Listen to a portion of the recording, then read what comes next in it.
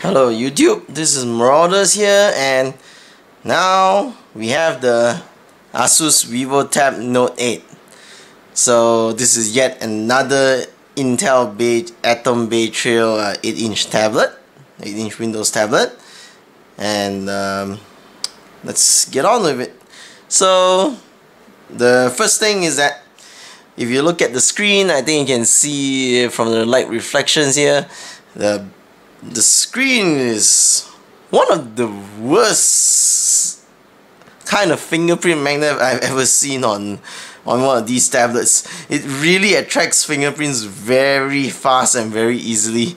In fact, that's the main reason why I didn't wipe it down before uh, doing this recording. Uh, just to be able to show you guys that it's really bad at, at fingerprints. Then for the main body design it's uh, it's actually a bit different compared to the other tablets that I've seen. It's actually two pieces of plastic so there's uh, one at the back one at the front so it's two pieces clamped in together. Uh, there's a little ridge here that gives you a some a feel of when you're gripping it but um, nothing doesn't nothing too much. A few feels a bit cheap though. The so slightly rubberized back for the for the back um, probably shouldn't scratch. Looks like it's fully black to begin with. Uh, at the bottom here this is where the pen is so the shell actually feels a bit hollow at the bottom. It creaks a little. And the processor seems to be on this part this part of the tablet so when you're watching videos or playing games or doing anything it's CPU intensive this is the part that gets hot in case that's what you're interested in. And these two lines here are the speakers which uh, I guess there's that's a very funny place to put the speakers because well I guess it depends on how you watch the video or how you are watch using the system. Because when you put it down the speakers are pretty much covered. So I don't know why they decided to put it there. Um, audio volume pretty standard not going to not going not drastically different or anything. Then one more thing at the back here is the ultimate the reason the VivoTab Note 8 is so special. This is a digitizer and it's stored in the tablet itself which is something that I've really been looking forward to. This is a Wacom digitizer so there's no need to have some funky 4A battery powering it and of course it has all the pressure sensitivity and everything. Get back to that. Now on the top here is where you find the power button okay wait just there's a power button and there's a and the volume button as well. Mic jack uh, not mic earphone jack and USB port which is also the charge connector nothing at the bottom. And then on the side here we have this is the we have the Windows button and the micro SD slot. Now the interesting thing here is that what I have here is a 32 gig version of the VivoTab Note 8. So instead of wasting space putting the recovery partition on the tablet, what Asus did is that they put it on the micro SD card itself. So if you need to so don't be surprised if you also bought a 32 gig version that you find a free SD card inside this, the, the tablet.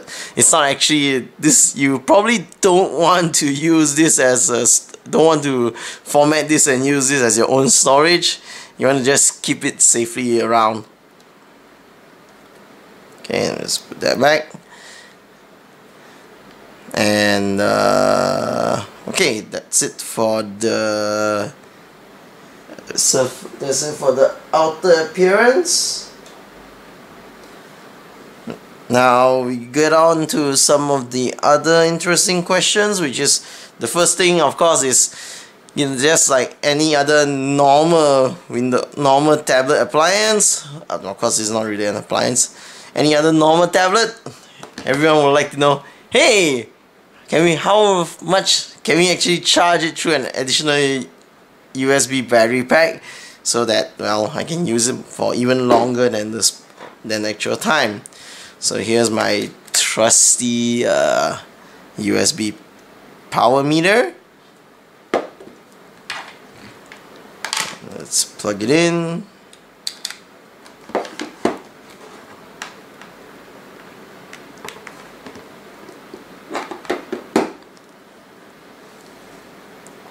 and we can see that it is charging. Oops. Yes okay. So we can see that it's charging properly. And basically it's just using up well, it's actually drawing less than 1 amp from the battery itself. But the main thing here is that it is charging without and the use of any power booster or anything. So no problems charging using this with an external battery. So even though the onboard battery life is probably the usual 6 to 8 hours for an Atom Bay Trail tablet but the fact that you can easily use any other battery pack to charge this uh, you essentially can make it last much longer. Now Another thing that you might have realized as I was going showing you all the ports on the external side is that you do notice that there are there aren't any video out ports on this thing. So there's no there's no external HDMI out. So just like uh, just like just like any other just like the Dell Venue Pro you can't connect this thing to uh, using HDMI and output it to the screen. So what you can do is either you use mirror you use a Miracast so you can project this using Miracast or you get a USB to video out dongle. And basically I've already covered those two scenarios. I'll link them into the video here so you can you can check out the links on the in the description so you can check the links in the description later. Okay, now let's talk about the most interesting thing about the VivoTab Note 8 which is the digitizer.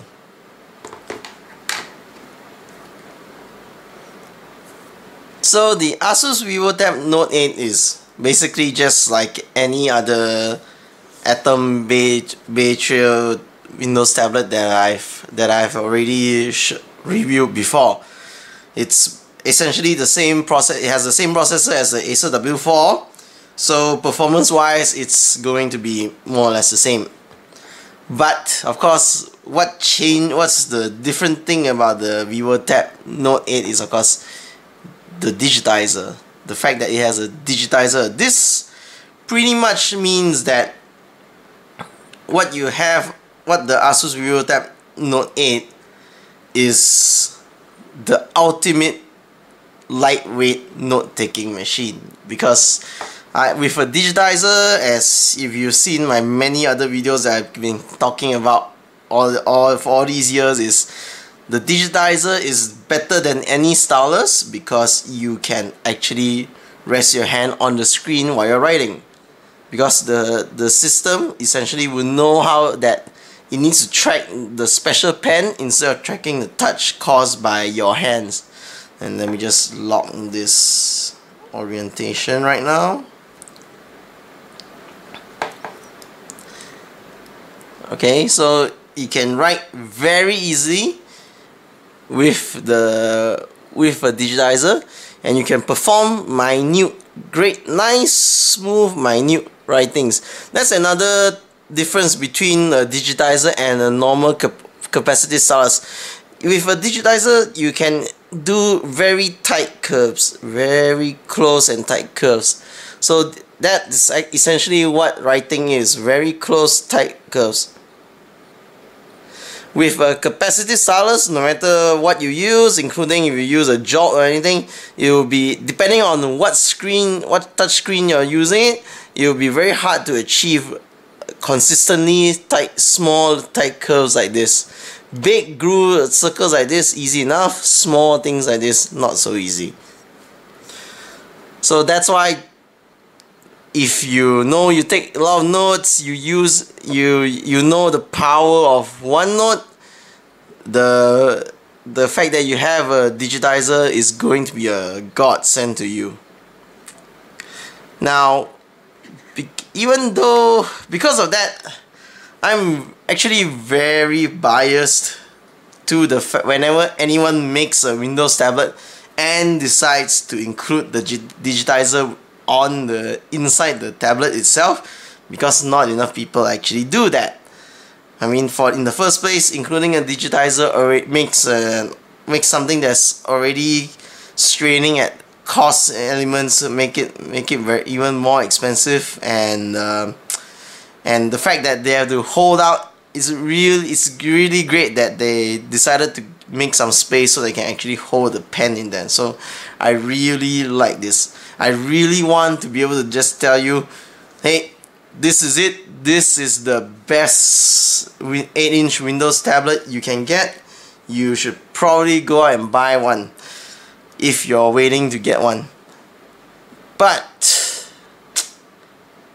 unfortunately there is one little problem here.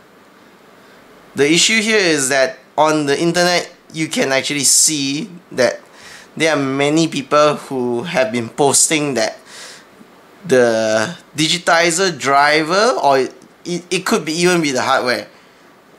It just stops working all of a sudden and that it's because of that reason I've actually I've actually taken so long to come up with this review. I actually got this unit about a month ago.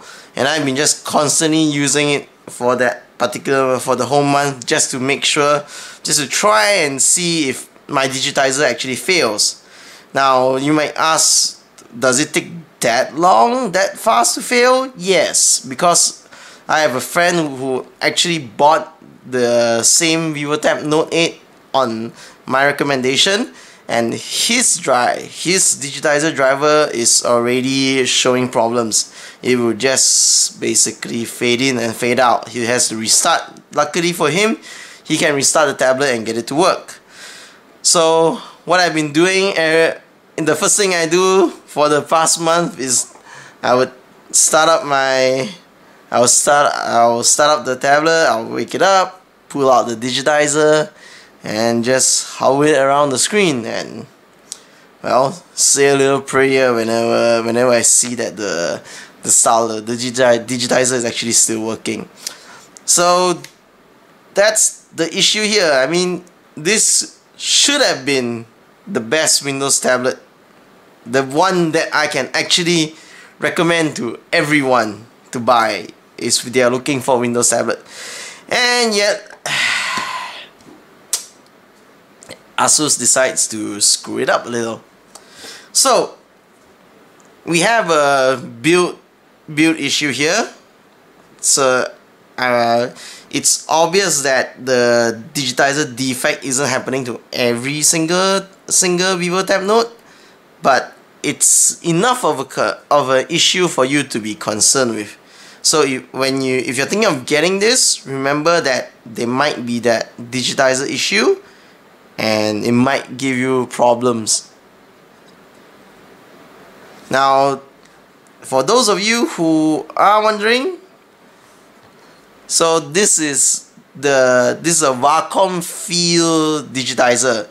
You cannot use, as far as I know, you cannot use any other Wacom pen on this. You cannot use a bamboo, anything from the bamboo touch. You cannot obviously use an Intuos pen what you have to do is you need to find other pens which are for the OEMs if you choose to replace this so that will mean that you can use the Surface pen the Surface Digital the pen for the Surface Pro you can also use the pen for the Samsung Galaxy Note series the the S Pen.